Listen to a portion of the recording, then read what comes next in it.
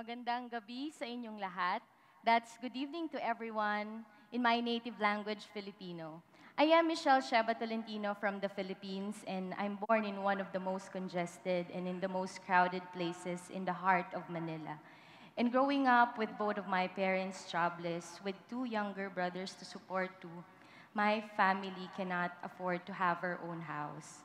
That's why we are forced to live with other, other relatives, where there's 17 of us staying in a very small shanty.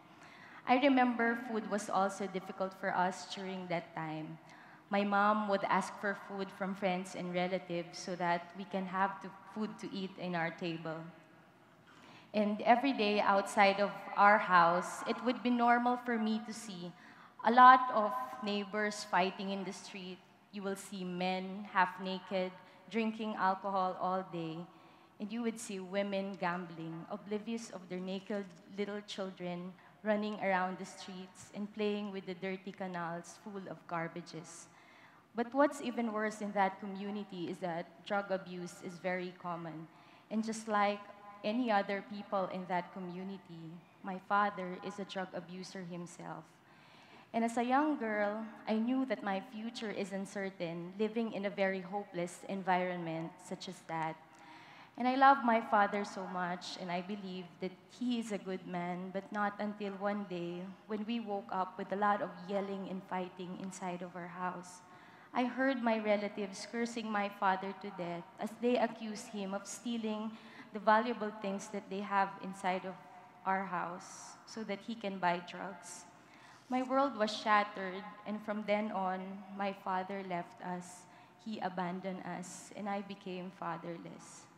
My relatives hated my father so much, and their anger turned towards me because they say that I look like my father. They would tell me, Michelle, you are so ugly. You look exactly like your father, and you will grow up like him. And hearing those words from people whom I expected to love and take care of me made me feel so shameful of who I am. I felt so worthless, and I felt that I am nothing and that I have no future. But at the age of six, I saw a glimmer of hope when my aunt brought me to Calvary Foursquare Church Compassion Project. And the first time that I stepped into that compassion project, I knew that my life will change. And the first thing that they taught me in the compassion project is that Jesus loves me. It is a simple yet life changing thought that has changed my destiny. I also learned how to pray and read the Bible. My first ever Bible was given to me by my compassion sponsor through the Compassion Project.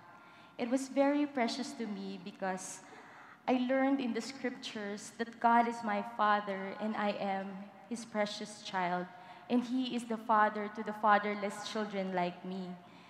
But I felt the great love of my loving Heavenly Father at work through my loving sponsors. Their letters gave me so much encouragement. I remember in the winter of 1995, my sponsors gave me this. This is very precious to me because every time they will send me letters, they would tell me, Our dear Michelle, you are very beautiful in our eyes. You are very precious to us. We love you. We are praying for you.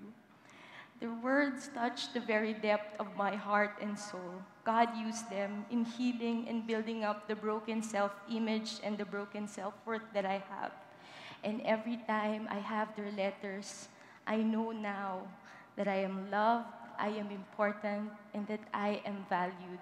And I have a bright future ahead of me in the hands of my loving Heavenly Father, which was reminded by me by his words in Jeremiah 29 11 when he said, For I know the plans that I have for you, says the Lord plans to prosper you, not to harm you, and plans to give you hope and a future. Indeed, I have a future. Compassion also gave me a chance to pursue my dreams when I entered into the leadership development program. I was able to have a degree in communication arts in one of the best universities in the Philippines. And compassion allowed me to walk in my dream and make history as I am now the youngest sales and marketing head of the first ever gospel theater in Asia, which is named Trumpets, which stands for Triumphant People Evangelistic Theater Society. It is a ministry focused in Jesus Christ, and we spread the gospel using the professional arts as our instrument. And today, fueled by the vision of compassion, I am now sharing my love to one very special person in my life. Let me introduce him to you. His name is Andrew. From being a compassion sponsored child, I am now a compassion sponsor, making a difference in the life of my little boy, Andrew. Andrew is an eight year old boy from the island of Samar in the Philippines. And my prayer for Andrew is that he will know in his heart that Jesus loves him and that someday when God will call him to build a family, my greatest dream for Andrew is that he will be a loving father to his children. And as I invest in the life of Andrew, I ask the Lord to restore my family and my broken relationship with our father. I came to forgive my father and honor him in spite of the past hurts because I want to reflect the love of Jesus to my papa because I experience it myself, the great relationship that I have with my Lord Jesus Christ. My Father is now living with us again. Nothing is impossible with God. My family is restored.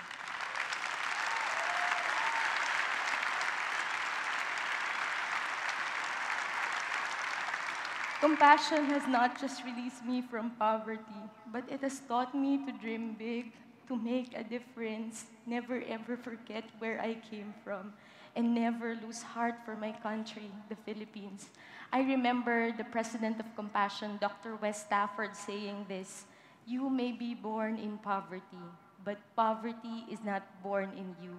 And that has been so true in my life. I was released from poverty in Jesus' name. Thank you so much, and may God richly bless all of you.